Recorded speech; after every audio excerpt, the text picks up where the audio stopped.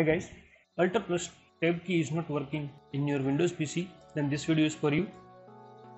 Just follow the steps to fix. First of all, right click on Start menu and go to the taskbar. In the task manager, just right click on Windows Explorer and click on Restart. It will restart your Windows Explorer and most probably your issue will fixed.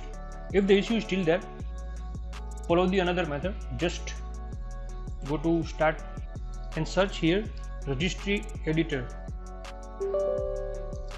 In the registry editor, just expand the H key current user and find the control panel, expand it and go to the desktop. Just uh, click on desktop and in the right side window, just find the foreground lock timeout. Just double click on it. Here you have to select the decimal and change the value to the 0 now click on ok button. Close this window. Restart your pc and see that the issue is fixed or not. If the issue is still there just follow the third method.